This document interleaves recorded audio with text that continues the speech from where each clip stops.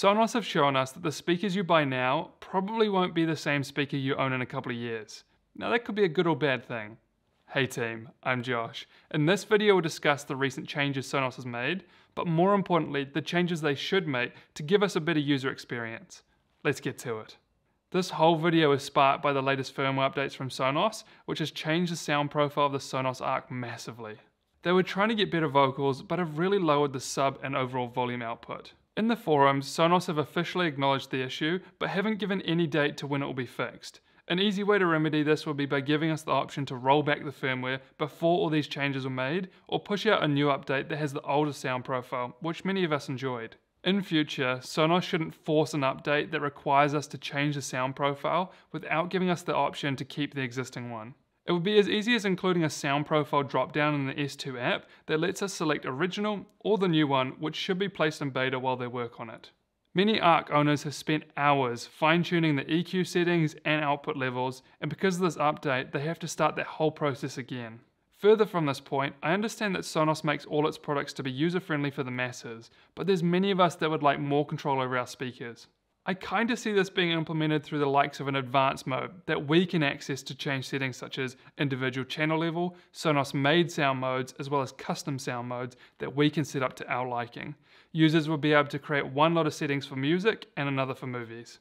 Changing between these presets has to be easy, so add a sound mode option either in the speaker settings or within the system tab of that specific speaker to give us the quick switching ability. Another issue is that Android users aren't as well looked after as those using iOS, so to change that, here's a few things to add.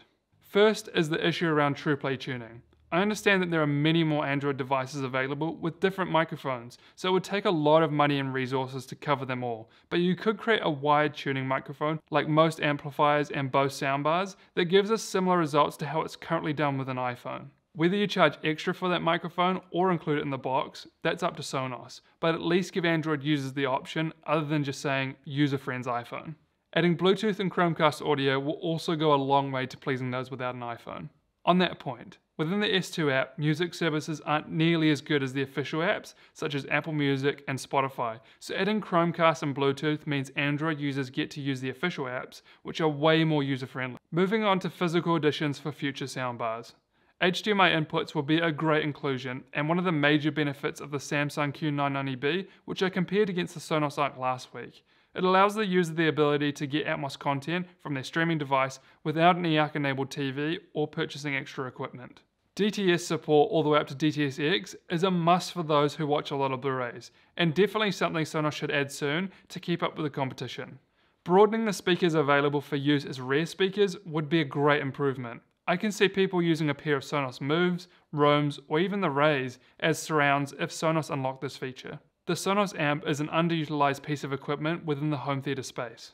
I installed plenty of these at my previous job to get music throughout the customer's house, but there were many times I could have used the Sonos amp if it had a center speaker output. Sonos claims that the current amp gives you a phantom center speaker, but the dialogue is nowhere close to having an actual speaker in the middle. Staying on the subject of amps, it would be awesome if you could let us use the amp for Atmos speakers. This would give you another point of difference over other soundbar manufacturers.